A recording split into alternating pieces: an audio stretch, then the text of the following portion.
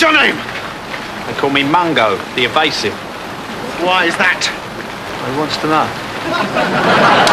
A wit. They call me Mungo, the procrastinator. Why's that? I'll tell you tomorrow. Ah, this is Blag. Holiness. Good, good. Glad to see you're mingling.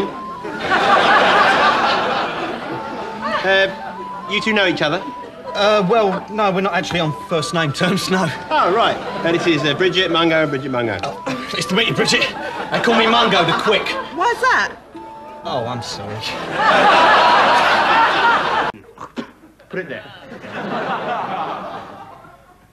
I'm Mungo. They uh, call me eight times a night, Mungo. Really? Yeah, he's got a very weak bladder. They're transporting their weather over here in sacks. How would they transport hot sunny days in sacks? I'm sorry, but they do call me Mungo the Inquisitive. Why is that? Yeah, why is that? That is a fascinating... Listen, Mungo, we're living in... Just a social call, is it, Morley? Hey up, Badvoc.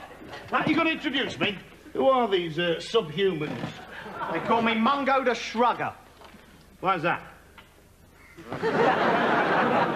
Give us what we asked for, you snot-faced Silurian.